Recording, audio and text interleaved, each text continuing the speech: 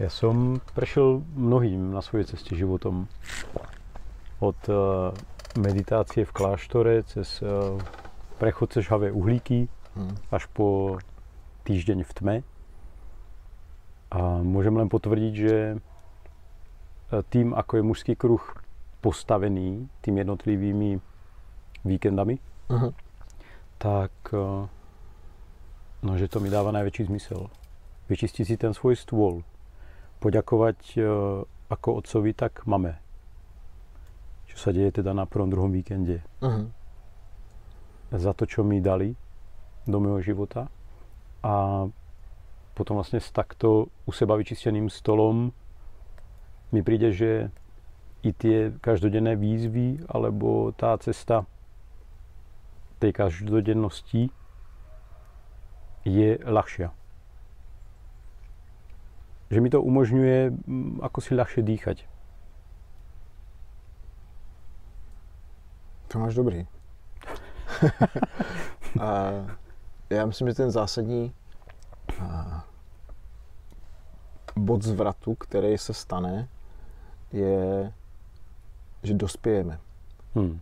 Ve chvíli, kdy přestaneme vinit svý rodiče, otce, matku, režim, politiku, kohokoliv jiného přestaneme vinit za, za nezdary v našem životě, tak v té chvíli s tím můžeme teprve začít něco dělat. Ve chvíli, kdy jsme furt jako otočený k těm rodičům dozadu, tak nekoukáme do svého života a řešíme něco, co se stalo dávno. A ano, já jako plně respektuju to, že každý rodič se na svém dítěti prostě podepíše a ne, ne, ne, neexistuje podle mě jako dokonalý rodič. Každý rodič svý dítě nějakým způsobem jako zmrví. Jo? Ale to není, eh, to není důvod, aby jsme zůstávali v té křivdě a neustále řešili něco tam, tam vzadu. Jo, můžou tam být nějaký traumata nebo nějaký kupy zranění, které je potřeba ošetřit, eh, obrečet, zůstanou tam nějaké díry, ale my musíme, my, každý jeden sám, musí převzít odpovědnost za to, aby uh, se na to podíval a to nějakým způsobem opravil, ošetřil, oplakal a zavřel jako neřešitelný. A když tohle má hotový, tak se podíval do svého věčného života a, a začal ho tvořit. Vzal ten my tady říkáme, používáme takový přirovnání, aby vzal volant svého života do svých rukou a řídil, nenechal se vést. Dokud jsme, dokud to nemáme vyspořádaný s rodičema, se svojí minulostí, s bývalýma vztahama, tak jsme pořád uvízlí a jsme jenom pasažér. Hmm.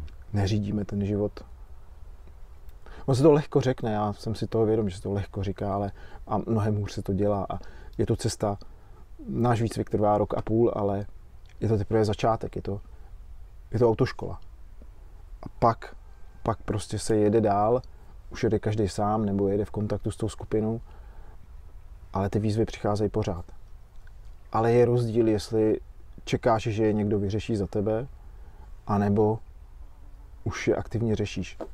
My jsme teď měli takovou zajímavou diskuzi o tom, že my často čekáme na... Jsme dospělí, úspěšní, eh, čekám, ale stejně čekáme na nějaké potvrzení od rodičů, aby nám řekli, jo, jsi dobrý. A čekáme, čekáme, čekáme a myslíme si, že ve chvíli, kdy nám to ty rodiče řeknou, že ten svět se rozáří a bude krásný a bude všechno hotový. Ale komu se stalo, že mu to jeho 40, jeho 60 letý táta řek, tak mi asi dá zapravdu, že vlastně se nic nezmění. jo? V horším případě to tomu rodiči nevěříme. Hmm.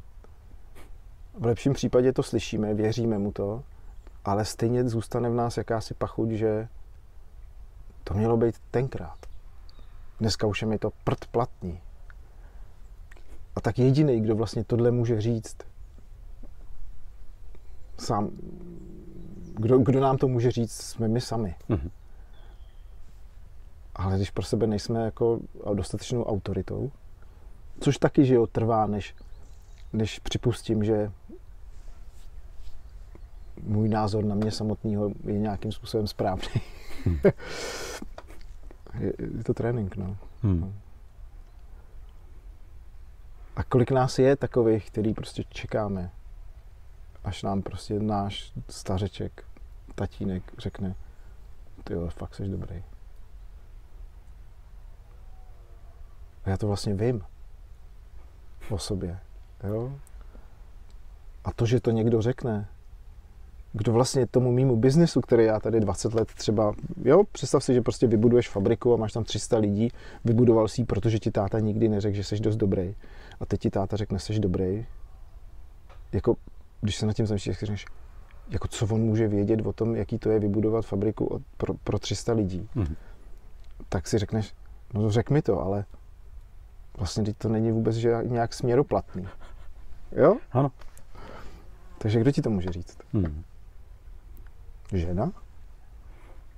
Jo, je to dobrý, je to super, když ti to někdo řekne zvenku. Ale dokud si to neřekneš ty sám, tak to fakt jako nemá žádný význam. Hmm.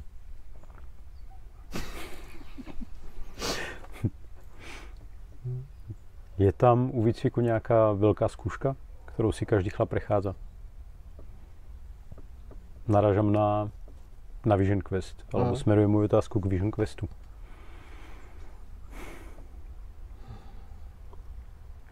Já si to nemyslím. Je to velká výzva, protože nevíš, do čeho jdeš, nevíš, o čem to je, nevíš, jak to bude probíhat. Je to pro řadu mužů, je to naprosto nepředstavitelný, že budou čtyři dny sami, Mhm. bez jakýkoliv technosféry, bez telefonu, bez kontaktů, odevzdají celou svoji identitu, kterou celý roky budovali, tak je to pro ně nepředstavitelný. A tohle to je ta zkouška. Jo? Pro tu mysl, která lpí na těch vnějších nějakých potvrzeních, atributech, jménech, číslech, eh, kreditkách, já nevím čem všem. Tak tohle to odložit, to je ta velká výzva, ale moje zkušenost je, že většinou je e, samotný Vision Quest, je to výzva, nijak to nezmenšuju, ale je to příjemná zkušenost. S odstupem času. Jasně, máš hlad, je ti zima, máš strach v lese, nevíš, co to přinese, vstupuješ do prázdna, jdeš rituálně zemřít. Je to, je, je to přechodový rituál. Silný. A může odstartovat nějaký hluboký procesy. Ale ve většině případů je to dovolená all inclusive, jak napsal jeden účastník. Ve smyslu, že měl jsem poprvé v životě ten luxus být sám pro sebe. v krásném, bezpečném prostředí přírody. Nebylo tam nic, co by mě oddělovalo a prožil jsem tam ten pocit spojení, sounáležitosti, potkání se se sebou. Takže ano, je to výzva, ale v konečném důsledku je příjemná. Mhm. Většinou, většinou. Pro někoho to může být mm, utrpení. Ale většinou je to příjemný. Je to výzva. Je to výzva. Hmm. Když se ti povede,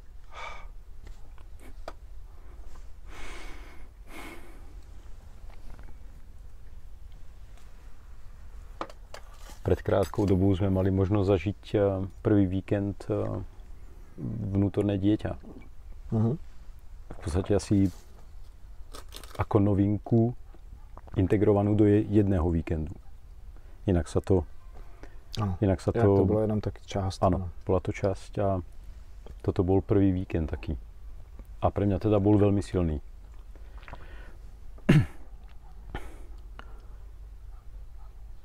No. Co ti na to mám říct?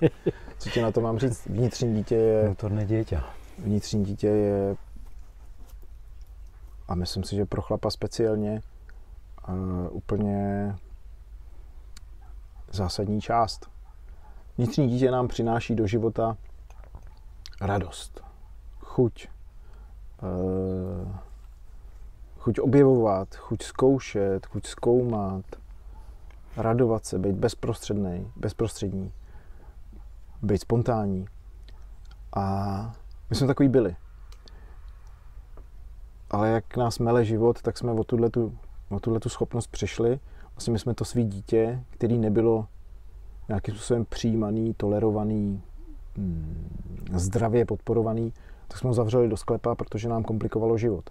Všichni říkali, nechovej se jako malej. Nevěděli jsme, co to znamená. Tak jsme pro jistotu prostě tuhle tu svoji část zamkli do sklepa a v lepším případě nám chybí. Hmm. V horším případě v tom sklepě nadává, řve, dělá bordel a ruší nás. A proto je podle mě úplně zásadní se s touhle částí potkat, spojit, navázat s ní kontakt. To vlastně úplně stačí, navázat s ní kontakt. Přiznat si, že tam je a že, že v našem životě působí. Že nás nějakým způsobem ovlivňuje. Protože pak je, ten, pak je to, to jeho působení, tyhle ty části, pak je jakoby vědomí. Jsem si vědom toho, kdy zrovna nejsem úplně dospělý, jsem jako dítě. Ale pokud si ty části vědomí nejsme, tak se chováme jako dítě nevědomně. Hm. Ani si toho nevšimneme. A to pak přináší spoustu komplikací do života, hlavně našemu okolí, který na nás poléhá. Přece jenom jsi otec, máš tři děti, říkali jsme, že máš tu firmu s těma 300 zaměstnancema a zrovna to na tebe přijde a začneš se chovat jako dítě, většinou nejdřív jako zraněný dítě, no tak to mm, té rodině i těm 300 zaměstnancům dost komplikuje život. Takže je potřebný být s touhle částí v kontaktu a musí se na ní uh, pomalu a citlivě a něžně. Ale to bych tady prozrazoval. Uh, jednak je o tom spousta knížek a druhak uh, stejně to nemá smysl nějak vysvětlovat, mhm. protože to je potřeba prožít. Ano. Speciálně tuhle část je potřeba kompletně prožít na těle, na emocích. Nějaký vysvětlení k tomu je super, ale, ale ten prožitek je alfa, omega. No. A bylo to, bylo to fascinující. Já tady mám, nosím sebou jako připomínku tuhle tu kuličku, jako připomínku toho víkendu a připomínku toho, že máme v sobě máme v sobě vnitřní dítě. Hmm. A myslím, že moje děti jsou velmi rádi, že mám svoje vnitřní dítě, protože si můžeme super hrát. Někdy to vypadá divně zvenku, ale se strašně s dcerou těšíme, až zase budou na krajích polí ty hromady cukrový řepy. Mm-hmm. Víš, tam my si na to vždycky lezeme a jsme strašně od bláta. je to hrozná sranda.